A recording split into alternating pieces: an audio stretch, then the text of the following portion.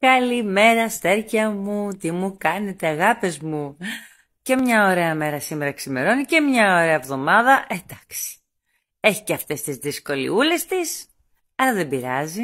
Εμείς είμαστε εδώ για να παίρναμε καλά μέσα από τόσα που έχουμε περάσει τα τελευταία χρόνια. Είμαι η Μαρίνα Σαραφημίδου και σήμερα θα πούμε για την βασίλισσα του νερού που έχει εκλεγεί ως εγγελική κάρτα της ημέρας. Εδώ μας λέει ότι οι σχέσεις, οι σχέσεις έρχονται σε νέο επίπεδο.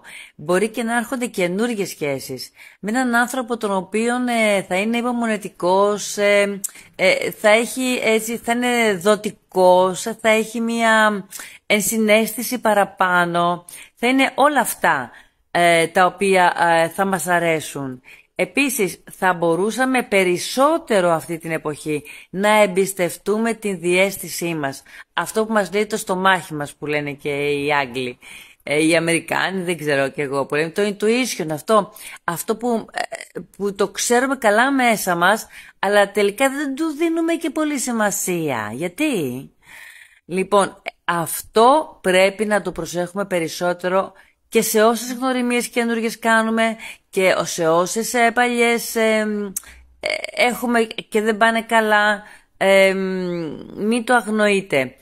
Ε, έρχονται ωραίες μέρες, καλύτερες μέρες. Φυσικά όλοι θα περάσουμε αυτό που ακούμε από τα διάφορα μέσα μαζικής ενημέρωσης.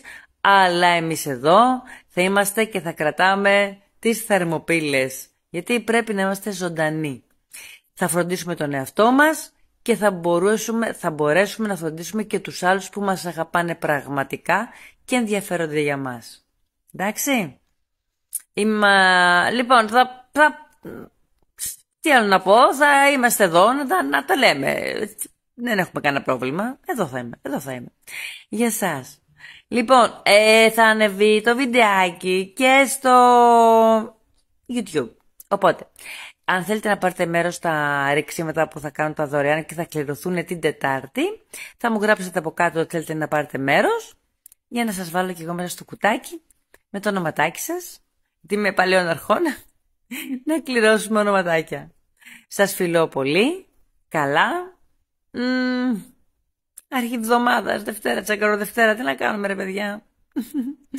Πολλά φιλάκια, να είμαστε καλά.